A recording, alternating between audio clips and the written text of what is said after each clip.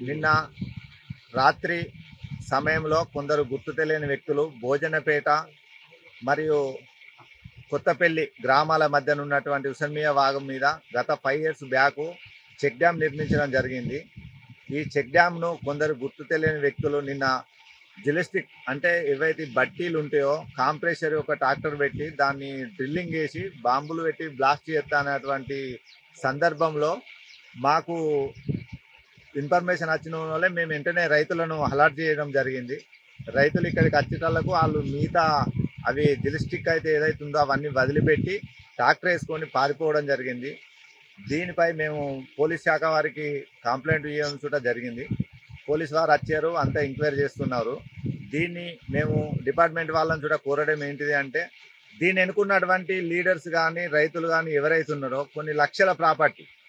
ఇటు ఒక ప్రాపర్టీని ఈ దీన్ని ఎన్నుకున్నటువంటి ఎలాంటి లీడర్ అయినా నాయకులైనా బయటికి తీసి వాళ్ళను చట్టపరంగా వాళ్ళపై చర్యలు తీసుకోవాలని మేము రైతుల పక్షాన మరియు నేను భోజనపేట ఎంపీటీసీ గారి భర్తను ఈ మా యొక్క పార్టీ తరపున కూడా మేము పోలీస్ శాఖ వారికి విజ్ఞప్తి చేస్తా ఉన్నాం. జిల్డన్ సిక్స్ ఎన్ని దొరికినాయి ఏంటిది? జిలస్టిక్ పదకొండు బాంబులు ప్రజెంట్ ఇక్కడ పోలీస్ శాఖ వారికి మేము అప్పచెప్పడం జరిగింది.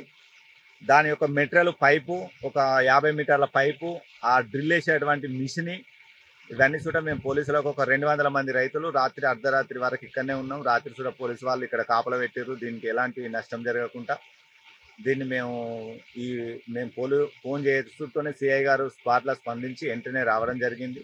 దానిపై మేము పోలీస్ శాఖ వారిని చూట అభినందిస్తున్నాం. కావున ఇక ముందు చూట స్థానికంగా ఉన్నటువంటి ఎలాంటి లీడర్స్ కానీ కింద ఉన్న రైతులు ఇది చేసినటువంటి వాళ్ళు శ్రీరాంపూర్ మండల్ వాళ్ళని మాకు కొంచెం ఇన్ఫర్మేషన్ ఉంది.